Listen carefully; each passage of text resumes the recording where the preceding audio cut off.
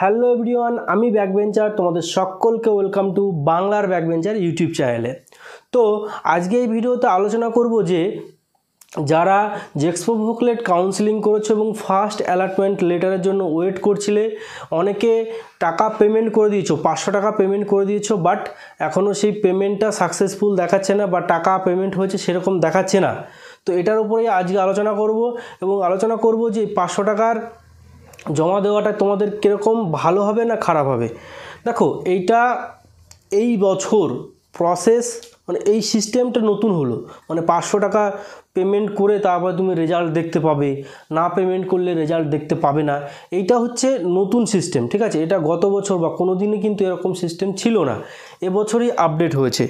তো যেহেতু আপডেট হয়েছে, তো এই, এর জন্য কিন্তু একটু সমস্যা হচ্ছে। দেখো রেজাল্ট দেওয়ার কথা ছিল সেরকম কোনো, এর এর আগে কিন্তু কোনো নোটিশ নোটিশও দেয়নি যে পাঁচশো টাকা করে পেমেন্ট করতে হবে। সাডেনলি এরকম শুরু হয়ে গেছে, ঠিক আছে?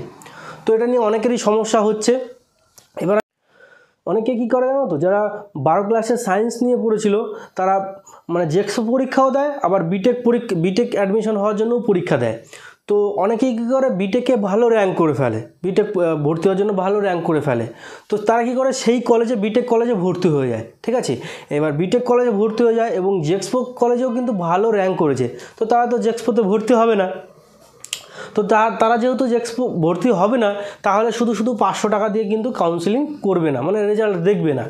এটা একটা পয়েন্ট হয়। আবার অনেকে কী করে যে চাকরি পেয়ে যায়, যে কোনো চাকরি পেয়ে যায়, ঠিক আছে? সেই চাকরি পেয়ে গেলে মানে আর পাঁচশো টাকা শুধু শুধু দিয়ে কিন্তু অনেকেই কাউন্সিলিং করবে না।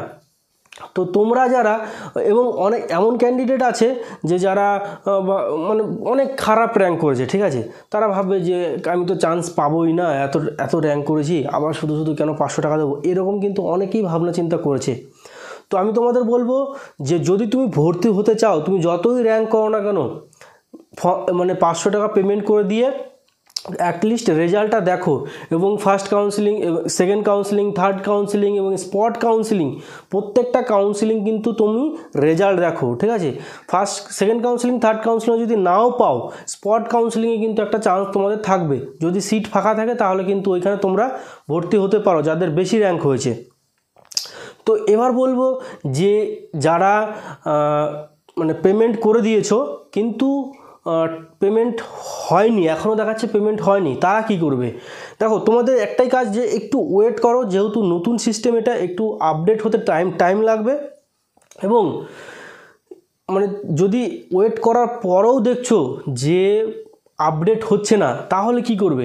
ডিসপ্লেতে একটা হেল্প ডিস্ক মেল আইডি তুমি দেখতে পাচ্ছ। এই মেল আইডিতে তোমাকে কিন্তু কারিগরি ভবনে মেল করতে হবে। কি কি লিখে মেল কর মেল করতে হবে?